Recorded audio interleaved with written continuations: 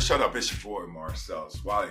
It's my day. Yeah, baby, it's Friday. We're going camping too. Oh, taking some itty bitties and meeting some itty bitties. So you know what that means? Support the itty bitties. ProjectTransition.org. Make sure you log on there. I will send you this book.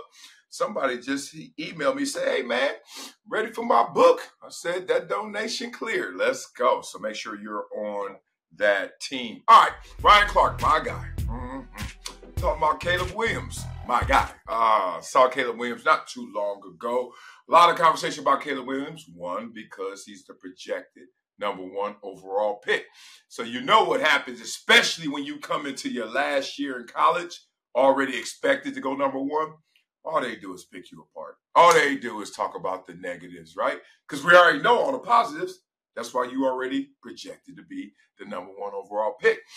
But um, people like Ryan Clark, people like me, people who've played the game before, we know how the game goes, right? So we should be able to read between the lines. And this is an interesting read by Ryan Clark on Caleb Williams. I didn't expect him to go here.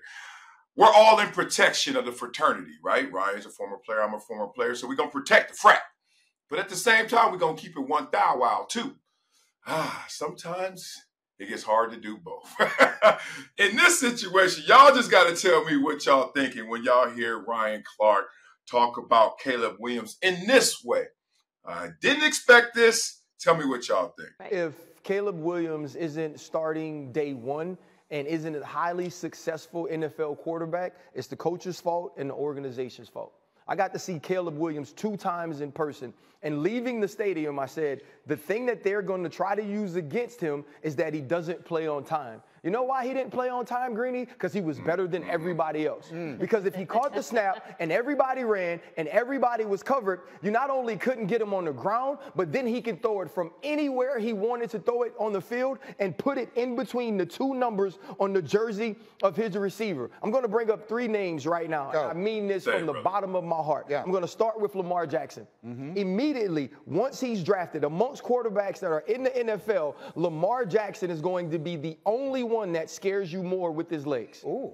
That can move the pocket the way he can. Really? That can be elusive in the backfield the way he can. Now, I'm going to bring up two other names Josh Allen, Patrick Mahomes. Immediately upon being drafted, when we're talking about arm talent, when we're talking about off platform throws, when we're talking about being able to put the football anywhere you want to put it on the field, that's the tier he's on. Mm. Now, you tell me this if you see a dude and those are the people you're comparing him to. You're going to say, we're going to draft him first overall because of all of those reasons. But you know what, dog? Don't trip. Sit down. I wish you would. You do that, that's going to be malpractice. You should be fired. Your wife shouldn't never get a job, and your kids should be kicked out of school. Man, okay. Y'all heard all that, right? That was a mouthful. That was an earful. Two ears. Uh, man, let's say this. Um, the road to hell is paved with good intentions. Never forget that. We know that, right? Sometimes you really are trying to do the right thing, the positive thing, the best thing, and it's just wrong. Um, Ryan Clark knows that there are too many variables for us to hear him declare that if Caleb Williams fails, it's because of the coaches and the organization. First, accountability comes into the conversation. What if Caleb Williams fails himself? What if Caleb Williams, not Caleb Williams, not good enough? Caleb Williams doesn't translate his talents on the field. You want to know why that is important? Because everybody knows that football is not an exclusive talent conversation. The game of football is a great game of skill and a greater game of will. So don't tell me how big, fast, strong you are and think I'm thinking you amazing. I'm saying, oh, you set up for success. you can be amazing. At the same time, those who are not the biggest, fastest, strongest still are set up for success. Obviously, it may be more difficult. I bring to you guys this. In football, who's the GOAT? Tom Brady. Biggest, fastest, strongest, best? I don't even know if Tom Brady's the best quarterback ever. He the greatest. Give who was the GOAT before him? Jerry Rice. Jerry Rice still may be the GOAT, obviously, of receivers, but Jerry Rice. Goat. He even got a product, Goat. He sent me some of his product before. It's pretty good too. Biggest, fastest, strongest? Nah, nah, nah. It's not an exclusive talent conversation. Never has, never been. If so, ah, all them labor, neighborhood legends, all them dudes that I grew up with, all them cats that were next level, Stace Bozeman's of, of the world, right? They would have made it. Stace should have stayed in football. Those type cats. Every neighborhood in the world got somebody that we were like, dog, he insane. Al Jones out here in LA, for those that know. Insane. Man child in high school. Did he make it? So, going pro is not exclusive talent conversation. Best players don't always make it. The most professional players make it. And that is a Maxx Crosby. Maxx Crosby, what was he drafted? Uh, fourth round, something like that? Maxx Crosby had issues off the field, etc., substance abuse, all that. Cleaned his life up. Me and him had a conversation about this about a month or two ago. Cleaned his life up and went all in on this Mamba mentality, what meant to him doctors, physical therapy, sleep, water, working out, uh, elasticity, like really TB12 plan. And he did that. And look at Maxx Crosby. Maxx Crosby, look, he is a specimen. He is a beast, but he ain't the, he ain't the top dog. And so a conversation when you see somebody with tremendous talents to say that they got to translate or it's everyone else's fault is not the way the game goes. It's also not the way we should be teaching it. It's not the way that kids should learn it. I wish my son, my son's a beast. Y'all know that. I wish my son would go to a team, and if it didn't work out for him, it's because of the team. It's because of the coach. Nah, fool. hey, little man, get your reps up. Get your game up. You better look in that mirror, not out that window. So the blame game and excuses are already starting. And you can't be serious. You can't think about it like that. Look, it's going to take a lot of people, the village, to make this thing work. Caleb Williams, top talent, going to probably one of the bottom teams, right? Unless there's the trade. That's why I said probably. It could be traded. You know how this is going, all this conversation. But he to go to a bad situation. That's where the top talent goes. It's still on you to be that top talent that translates not only in production on the field, but translates in changing the culture, the, the short term culture of what the Chicago Bears may have right now, etc. You got to go in there and be so good that you bring those guys up. And all of a sudden, we start looking at each other and this place differently. CJ Stroud just did it. You know, a lot of people weren't betting on him. I wasn't betting on CJ Stroud to do all the things he did. I ain't know what to think. Oh man, I don't know about that.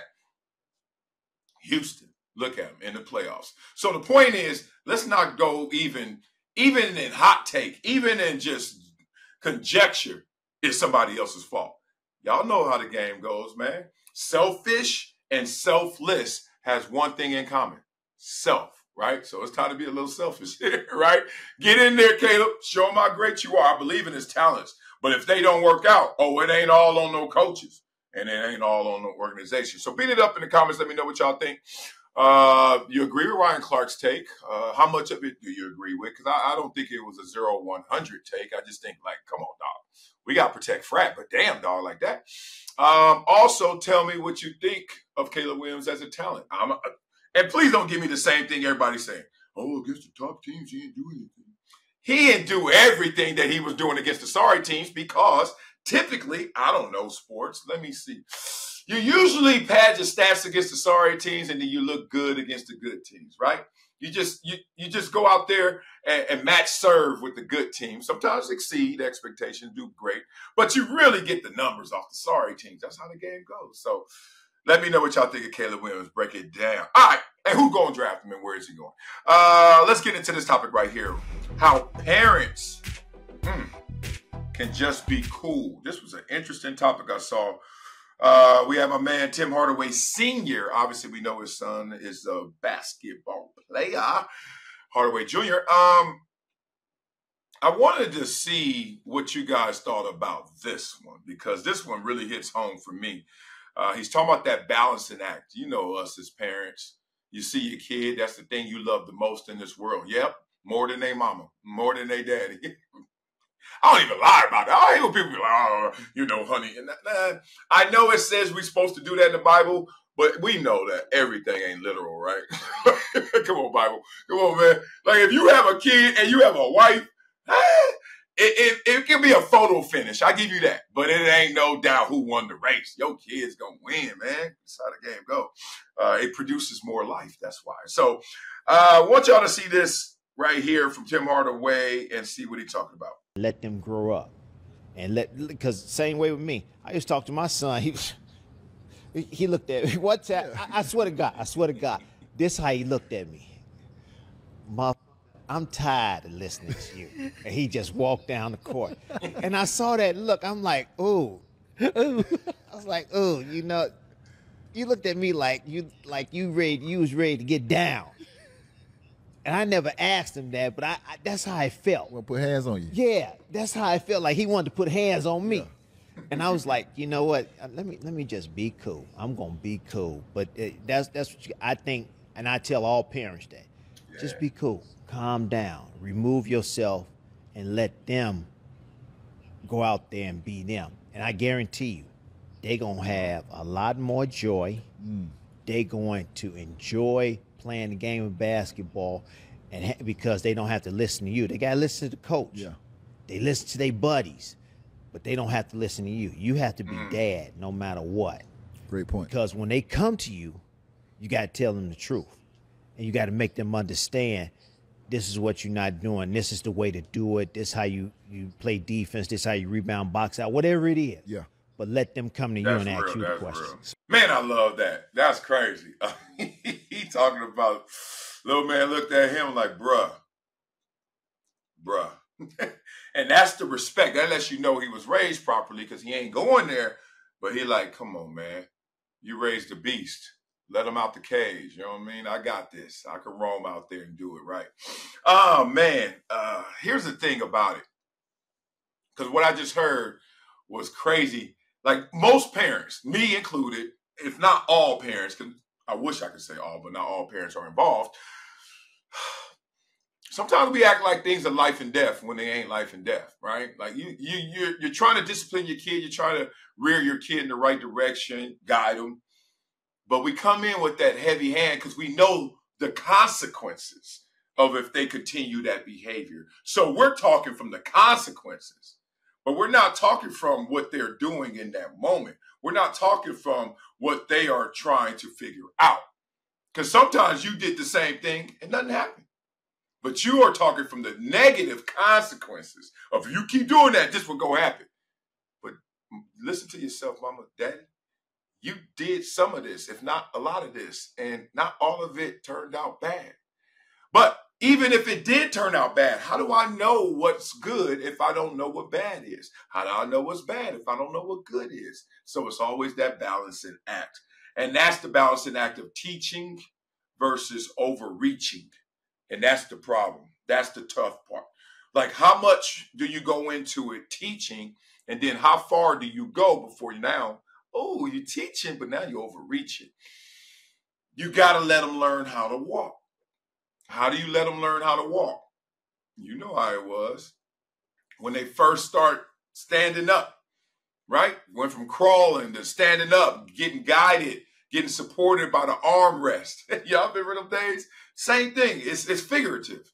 They, they they learning how to walk, and then how do they learn? They fall down, bop, on their butt. Then first thing you say, oh, whoa, whoa, watch out for the watch out for the table. Then they get back up, they cry, go a little more, oh, oh balance it back, go back. That's how it has to happen. You got to support them, you got to guide them, you got to let them be in controlled environments, as Jordan Jordan said. Was it Jordan? Damn, I'm going to see him. Jordan Peters. Yeah, uh, he said you got to have them in controlled environments of chaos. Yeah, Jordan Peterson said that. Controlled environments of chaos. That's dope. That's it. You gotta like, all right, make sure they ain't gonna die in this mother, but let them go and see how they go. Little kids got to grow that way. Um, I'm really mindful of this, and I, I brought this up because uh, I'm very involved with MJ, as you know. All my kids, but he's my oldest, so he has the most activities. He's the one that's playing basketball, as Tim was talking about. And since I'm one of the coaches, but I'm also the the driver, the chauffeur to get them to practice, but also the one after practice to hear how it went. Also the one taking them to Baskin Robbins after the big game or after the player of the weeks and all. Like I'm hearing it all. And I got to make sure that I stay that soundboard that is not talking back too loud because then you tune them out. And there's been times where I'm looking at him in practice or times I've seen him in the car and he's just like, Daddy, I don't want to be over consumed with this. Just upstairs, just upstairs before I came down here. Um, he wanted to do his Minecraft. It's, uh, we're going on a camping trip. I said, all right, you can do your Minecraft after you do your educational. You always have to do an educational video or something in that realm before you get into your Minecraft. All right. And I said, do math. I said, do math right now. Let's do third grade math. He's in the second grade. He said, no, uh, I want to do, uh, I want to do something worldly. I want to see the world. And then while I was walking away, I said, okay, that's educational. He said, yeah, because if I see the world on these videos and I know their culture, ah, when we, one day we could travel there and then I would know more. I will already know what's going on and I would learn more. That's it. Now, I, in that moment, I wanted him to do math. I just, I was like, uh, watch a video of uh, Indonesia, like go do some math. And then I was like, all right, that's what he wanted to do. So we got to make sure we're their support system, right? Not always just the one pushing them, but the one that's catching them too when they fall. Oh man. Uh, last thing about it is helicopter parenting. If you're a helicopter parent, raise your hand. And that's a compliment. I think helicopter parenting is not only a compliment, but the new way of parenting. Because look, the way we grew up, that ain't how it went down. Mama's like, all right, where you going? All right, the street lights come on, your ass better be back in this house. That was life. That was the sentence I heard a thousand times. Those street lights come back on, your ass need to be back in this house. I don't know how old I was, but I was hearing ass. Grandma, all mama.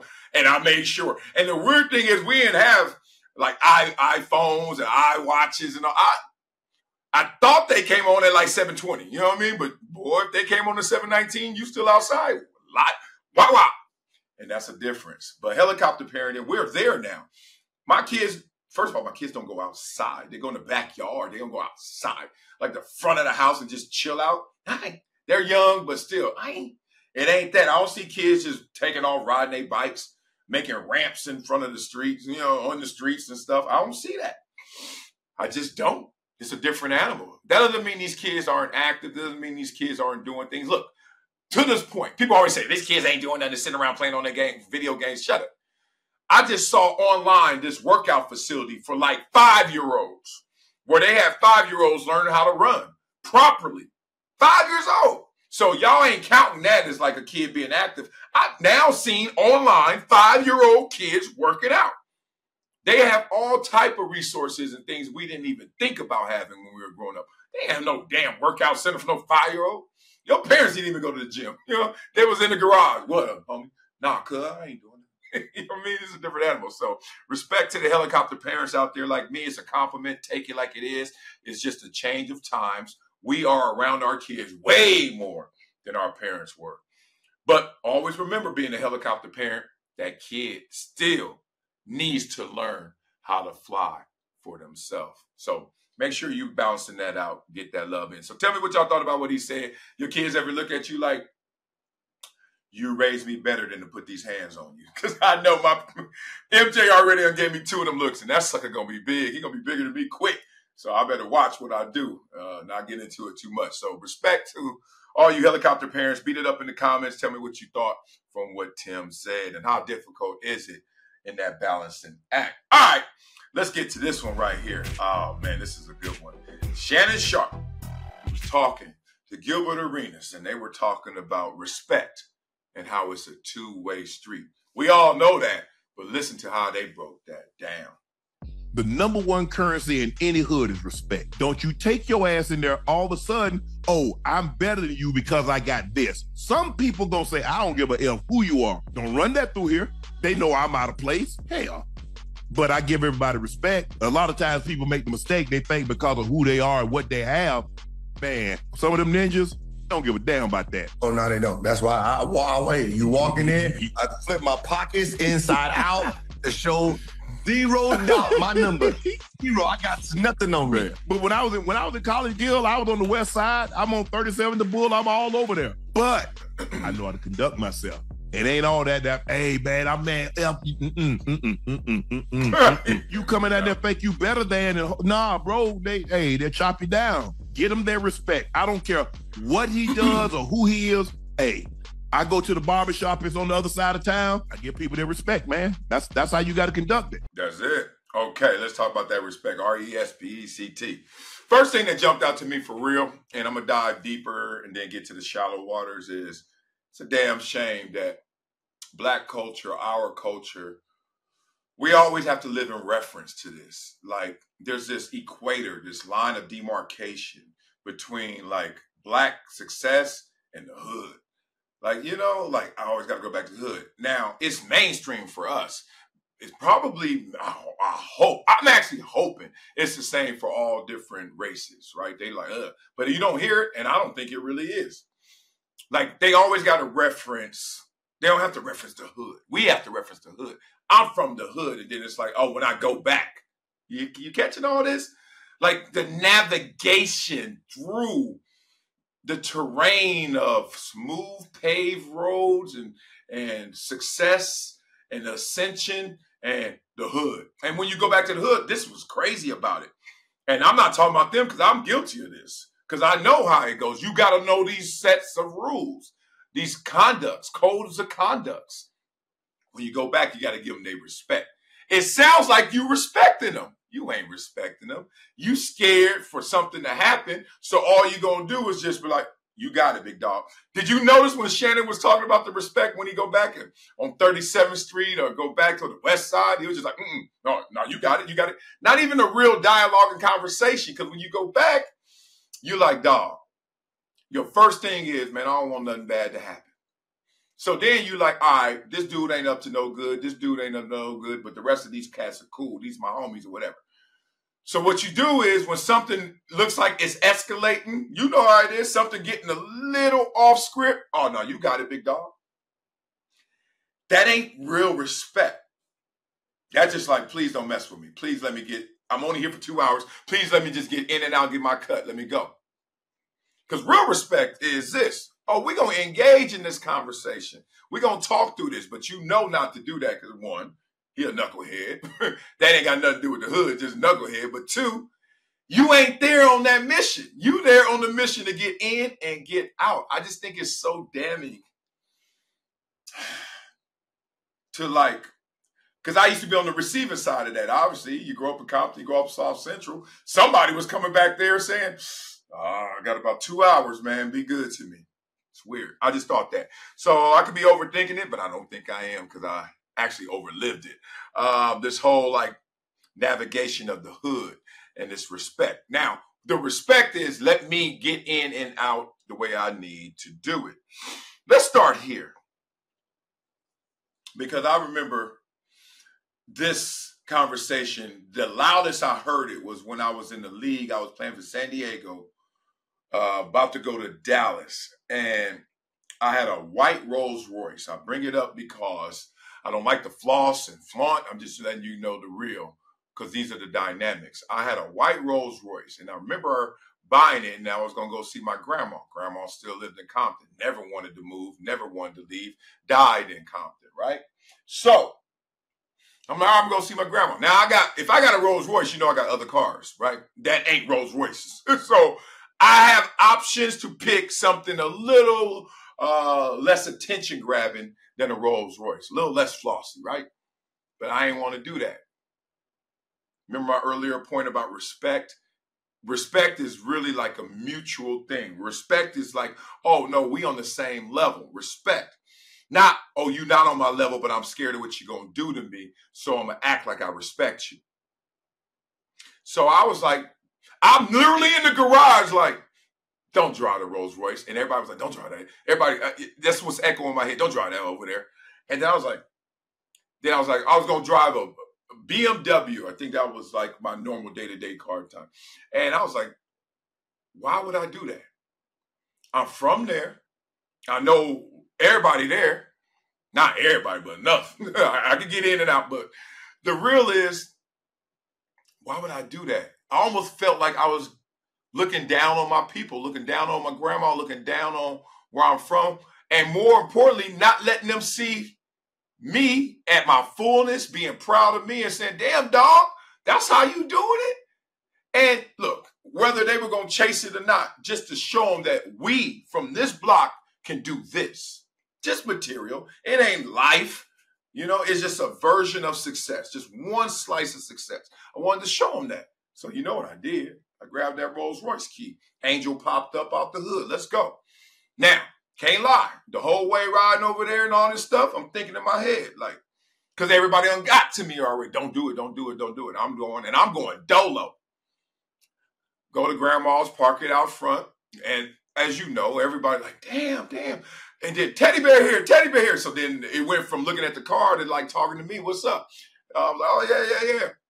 I just got this. They was like, damn, damn, damn. Let me see, sit in and all that stuff, right? Uh, love, love, love. And that felt good. But then I went back in the house. Nothing. No issues. Everybody was proud. Everybody was pumped to see me again, all this stuff. Leaving the crib. And I remember this moment like it happened yesterday. I'm at the red light. Once, what did Cube say? At the red light. Oh, man. I'm looking in the mirror so I can see who can see me. South Central done put Ice Cube to the test. It wasn't a dude in the SS, but it was a dude rolled up. And this is to Shannon's point. And he rolled up. And when he rolled up, he he he mad dog. He looking in the car tough. He rolled up and he looking like this. You got two choices.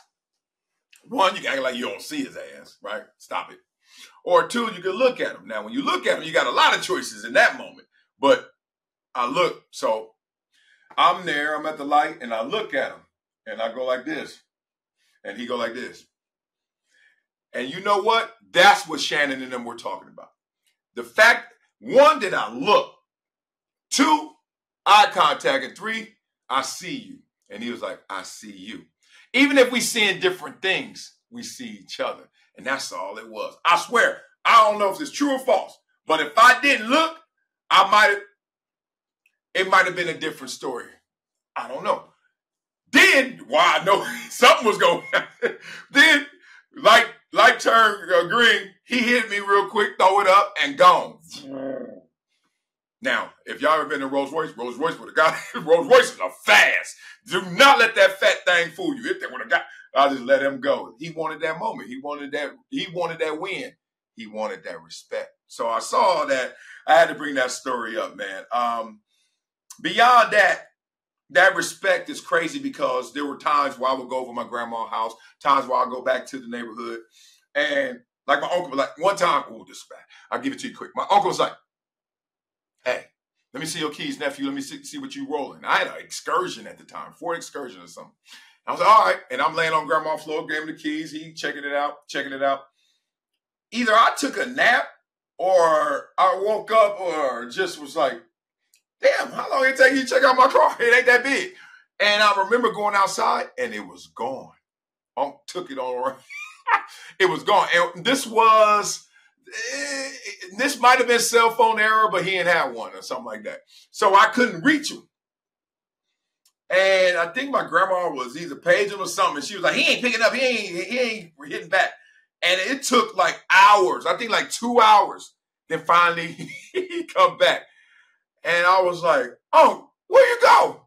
Because I knew if my car didn't get stolen, I gave him the keys. I was like, what? And I was really mad, but I was like, this still my uncle, kind of like we were talking about with a kid looking at his dad. I was like, I ain't about to flex on my uncle like that.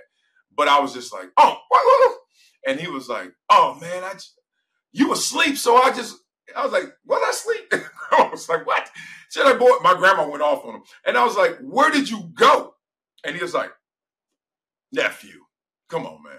I was like, where you go? He was like, I had to go see a couple girls. he went to floss. He went every girl he was dating to try and just pull up on him and just say, yeah, yeah, yeah. What y'all up to today? I was like, I just chalked it up to the game. That was funny to me. My last point about this one is, um, y'all know Big U, right? So I grew up not when I was in Compton, my first six years and all that stuff. Like when we moved off Slauson to his neighborhood. So I'm not gonna go too deep into gang culture, but him and I did an interview before on NFL Network when I was working there. This is like 03, 04. Never aired. You want to know why it never aired? Because me and him was walking on Crenshaw, just doing this interview. It was wow. Y'all know where the graffiti wall is, right? The mural mural wall. And we were just walking there, and then we posted up there and started just talking real stories. Too real. but I'm not lying. When we finished and wrapped, I said, you. I don't know, dog. Like, damn. First, I thought it was the most amazing interview ever. And because he was just him. And then I was like, on top of that, people ain't heard this before. And I was like, this is how I grew up. And then I was like, this is the big OG. And now I done brought it all together because I'm on TV. I was like, oh man, I'm about to win me a Pulitzer. Forget an Emmy. I'm, I'm about to get me one of them. Uh, they didn't air it. it was just too graphic. I wonder for real where it is. That and that Drake Kendrick Lamar beef. I need to find those in the annals. But um, I give you some highlights from what he said. He said, I remember one time he said these athletes come in town, man, and these hyenas, you know, the young, the little G's, you know, the babies, they they they see the athletes. So imagine you at a club, it's a cat. He they ain't gang banging like they used to. You know, ain't no Pendleton on. They ain't looking like they in colors no more. They just regular old cats, button downs, chilling, right? He at the table with his girl. You know, he he neighborhood star. He got the bad one, right? And then you come in and everybody know who you are. You recognizable, all that. You got way too much money. You got you wearing too much money. You get to the best table, everybody scoot over, and this what happens. Those ushers and security guards and your homeboys and entourage, they come in and they like bulls in China shop. They just excuse excuse me, like we gotta get to our table this fast. You know, y'all seen it. We all seen it. I've done it. And when you're doing that, watch who you bump. When you're doing that, watch who you're running over. When you're doing that, watch who you're scooting out the way. Now, you get there, and then you post up. First thing you do, you standing on the couch or something, or you just high, or you just looking around, or everybody clamoring around you, and you just looking, and then you see her. Now, you in the zone. You may even be sauced up. Wherever you doing, you in the zone. And you looking at her. It's Adam and Eve stuff, right? So you just like, ooh, she bad. She was somebody, dog. now, this your moment. This you at the red light. You can show, oh, you look, at the first thing you do whenever you see a fine girl, who with her? You see that dude, you probably don't respect him. If you don't respect him, you don't salute him, you don't give him his props, you don't just look away, whatever it may be. Check out this bazaar. He on it now. He ain't stupid because you ain't stupid. So don't play dumb, fool. and now, next thing you know, you trying to you try to sneak attack. You try to send homie over there, whatever it may be. Or he like, dog, he ain't, he ain't understanding that he may be him, but we on the same level right here, right now. And this was the conversation we were having on camera. And so them young cats, a lot of times, not always by protocol, but a lot of times they call they big homies. They be like, hey, you know so and so? Because sometimes that could be somebody's cousin. I'll tell you this another time, so I ain't gonna take forever. There were two times they had to hit on me. And both times I got bailed out because they were they put the call in. They were like, no, no, that's Wiley. That's so and so cousin. That's so and so little brother. Like, you know, like I just know some cats and they knew me. So he was like, nah, not him. That's that's the homie. So they get that call. And if that call comes back like, I don't know him like that. No, no, that ain't nobody to us. And you, and you over there doing what you're doing? Gas, meat, fire. Boom. So we had a thousand of those conversations on air. It's crazy. I could go all in, and there's so many more. Y'all remember that era where athletes were just getting jacked? I mean, I'm sure it still happens a little bit here and there, but it was there was a time you couldn't go to no award show, you couldn't come to L.A. Soon as they see your ass at Denny's or see you at Jerry's Deli or see you at uh, what was it, Cheesecake Factory or uh, Grand Lux for real you you doing all that high sign and all that stuff, you ain't checked in to respect. Don't go to the bathroom. Um, or let's be real. Sometimes it's just rando. Sometimes it's just not your day and it's gonna be your turn. We know how the game goes. So tons of those stories. Uh, remind me to tell y'all my Lexus story one time because And you know I had to gotcha. They almost got your boy real bad right there. All right, so beat it up in the comments. Respect is two way. I just think it's interesting, and I ain't want to focus in on the black culture, but look, I ain't immersed in all the other cultures like that. But I just don't even hear from the outside. Like they gotta navigate through so much just to go home. And when they say respect, like we said respect, I'm saying respect, but I'm really saying I just really want to get in and out. Because respect is a little different. You don't do that when you at home with your homies, when you in your safer grounds and environments, it ain't sounding the same respect. Beat it up in the comments. Let's have some fun with this one and talk through the real from the fake. All right, y'all. Coming up next on Never Shut Up. Focus some comments into the Wileyism. That's next. Never Shut Up. Brinx TV and Reese TV.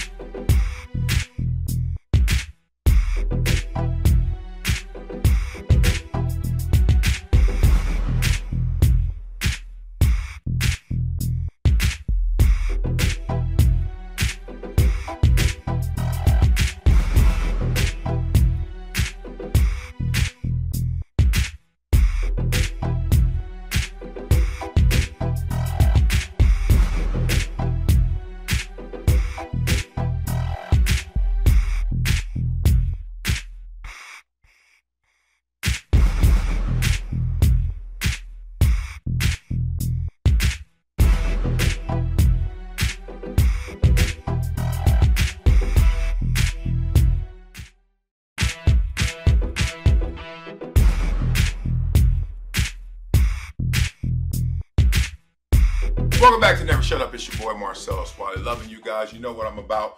Positivity, man, and helping out the itty bitties. That's all. So make sure you support the itty bitties. Go to projecttransition.org. Leave a donation. Monthly donors, you get this book right here. All right, let's focus some comments. Uh, let's talk about Steve Stoute. I will listen to and body, but I think you meant anybody, but Steve Stoute.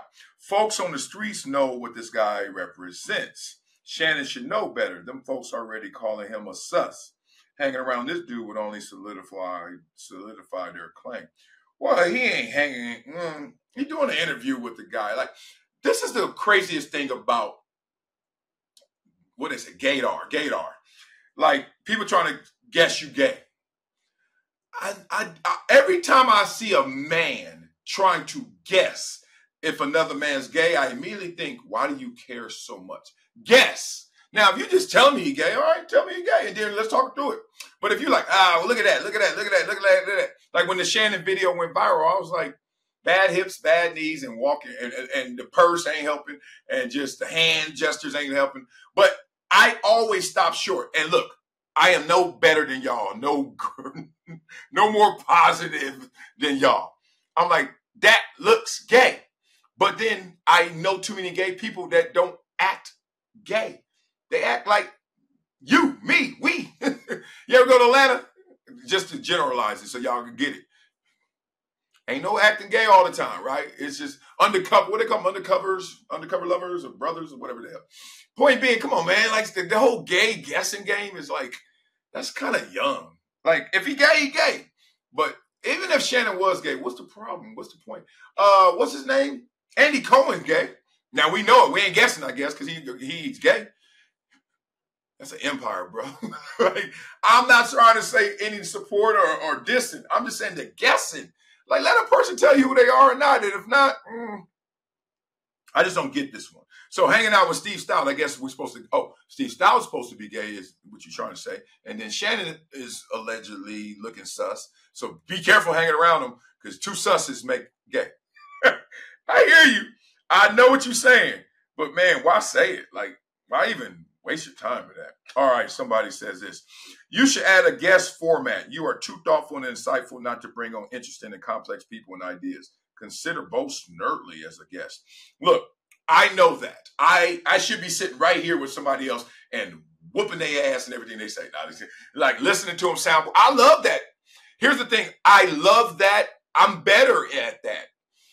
I don't trust all of the co-hosts out there, so it has to be a certain person, right? Certain type. Very few that I really want to work with. And two, people are unreliable, man. You know what time it is right now? It is. I started this at six in the morning. All right. Then tomorrow I might do it at eight in the morning. All right. Then I might do it at four in the afternoon. That ain't for everybody, right? So uh, I get what you're saying. Uh, the content, look, I know I'll be way bigger and get more views, and all that stuff. If I had somebody here and I'm beating them up and he'd be beating me up, we'd be talking that trash. And, and hopefully that works out.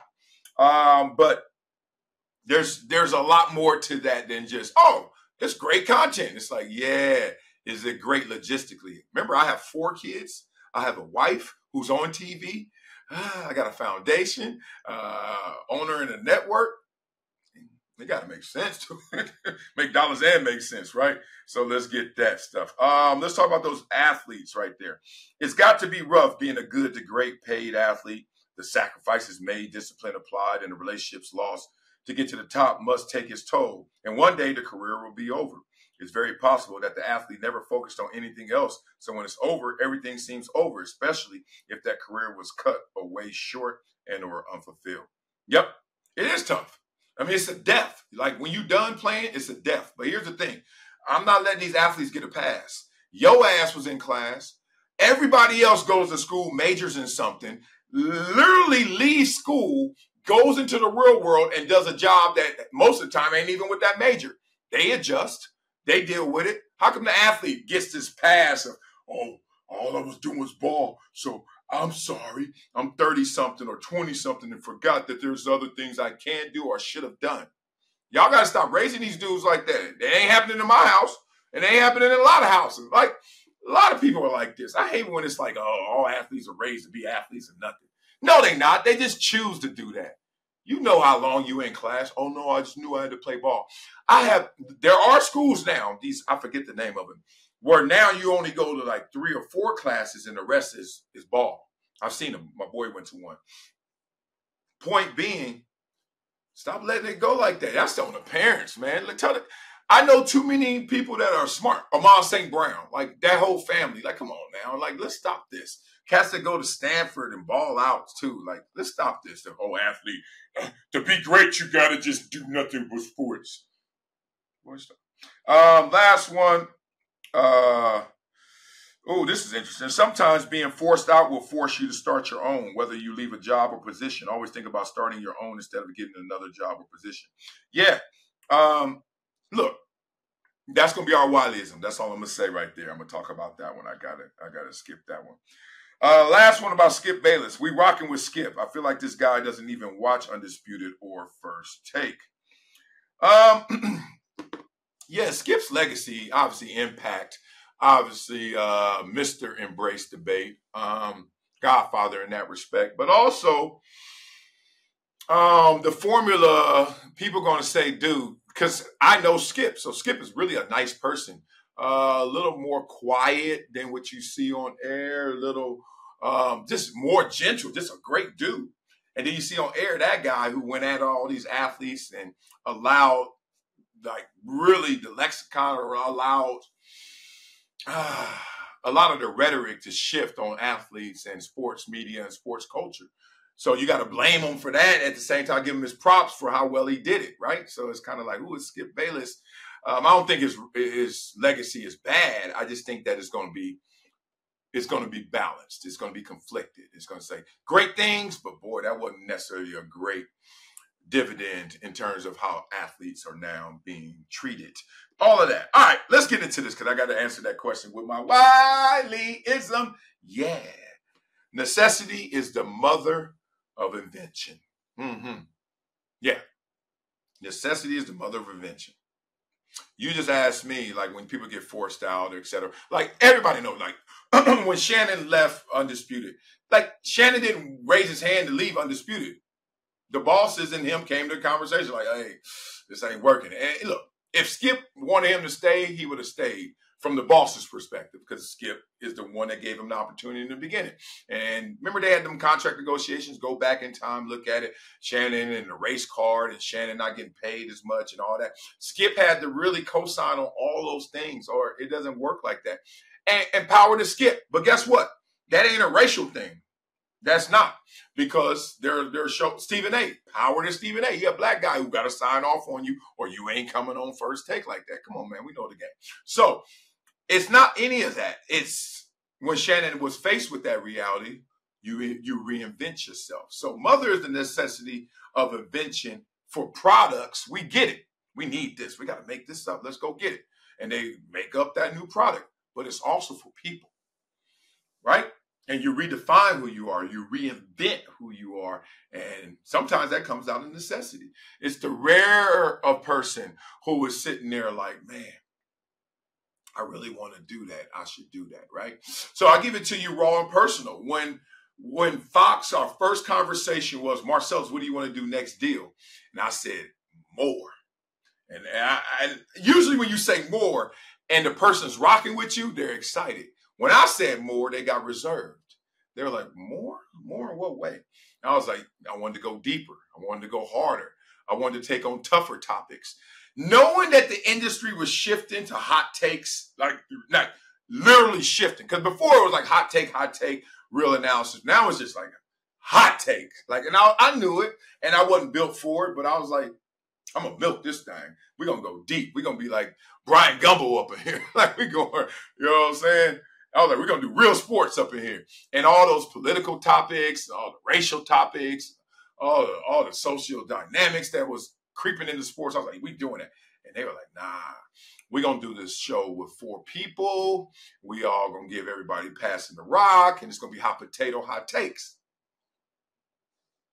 Uh, I already went through Sports Nation, and so like Sports Nation was a different thing. It was a lighter show, but it it checked that box for me where it's like, let's stay on the surface, keep it light, keep it fun. And that's the word they use. And that's what got me. Um, but we're to, Marcellus, we want a lighter show. I was like, ah! And that was what Sports Nation was. And that's what we did, lighter. And I was like, damn, I'm going back in time. I'm like, I'm not, I'm almost 50. And now I'm doing a show I did when I was almost 40. Oh, that's interesting. All right. Who am I to give up all, all these millions, right? So tried to work through that conversation, et cetera, et cetera. And going through the negotiation conversation, my contract was up in June. Uh, they kept me on the payroll July, nothing August, nothing September. We start talking about, uh, we were doing first things first conversations. We were talking about podcasts and then putting it on TV conversations, everything. But y'all been a part of a team before Y'all ever been in a situation before where you know, and I used to say it better than this, but there's a ch- there's a time when you're somewhere and you're doing things and people are doing it with you, and there's times when people are doing things because that's what they want to do as well. So support looks different than when you're doing something or when we're doing something. Like a relationship, you could be together, but you know when y'all rocking with each other versus uh, y'all just together, but y'all doing separate things. And I just felt that I wasn't going to get properly supported. And I didn't feel like they really believed in what I wanted to do. And frankly, what I wanted to do, nobody nobody was trying to do. So I was like, man, we can make this stuff positive and deeper and more fun. Like we can do all that. It just doesn't have to be lighter. It doesn't have to be pandering. It doesn't. You know. So long story short, um, I had to reinvent not only what I wanted to do, but how I was going to do it. And that's what led to me and the foundation popping up front and center instead of just being a part. I wanted it to be front and center, right? And then that's also what led to me getting ownership from John Brinkus and at Brinx. Simple as that. Um, but I had to reinvent myself. Shannon reinvented himself, and I love that. Um, countless others. You may have to as well reinvent yourself, right? It's not just a product because mother, mother, mother, mother of invention, you know where that comes from necessity. So the key is don't need to do that, right? The key is to not need to do that. Um, the key is to actually always keep that in mind and want to do that and not be forced out in that mode. But either way it goes, man, never forget it. It's okay. It's not just products. Necessity is the mother of invention. That'll do it for today's episode. Never shut up. Love you guys. Have fun. Have a ball. Have a great weekend. I'm going camping. Pray for me. and the wolves. I wish one of them wolves would. I, I beat up a, a wolf. I got a wolf. Wolves. Mm, night night. Love you guys. Have an amazing weekend.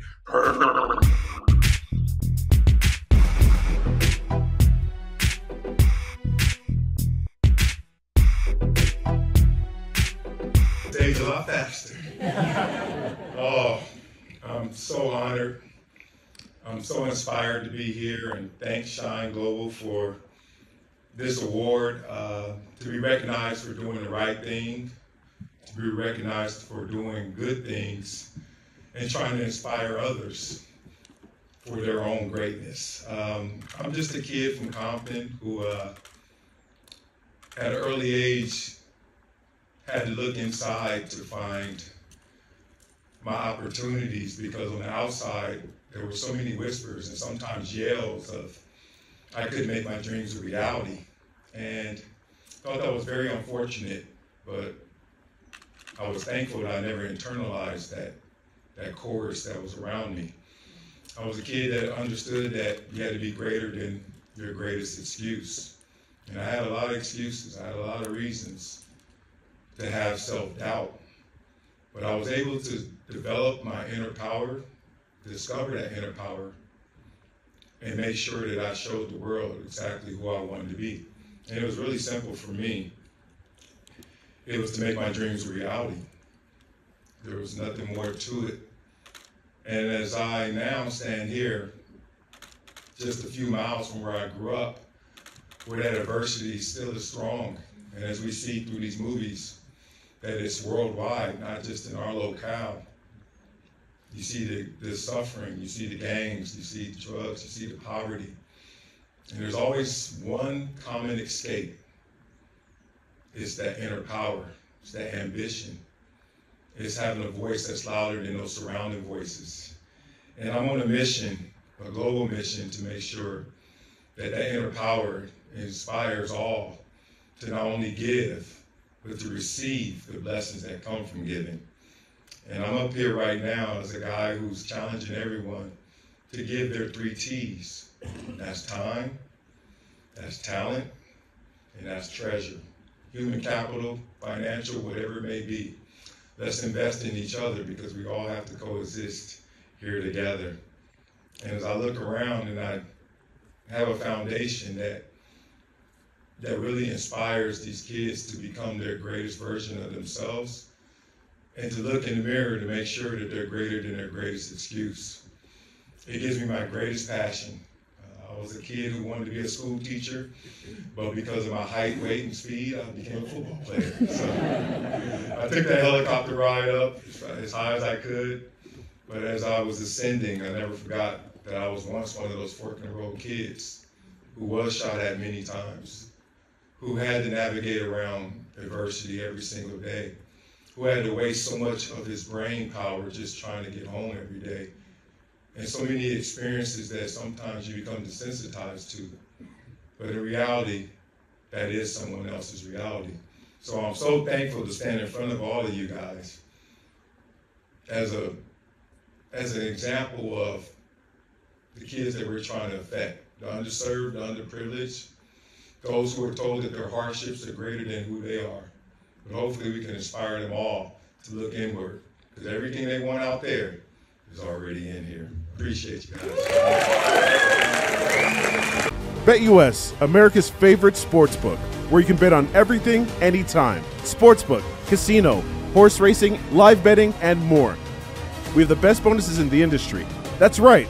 Get a 125% sign up bonus, and to celebrate our 30 year anniversary, we're giving up to 30 risk free bets, a truck, Super Bowl tickets, and more. Don't miss out. Play smart. Join now. BetUS, where the game begins.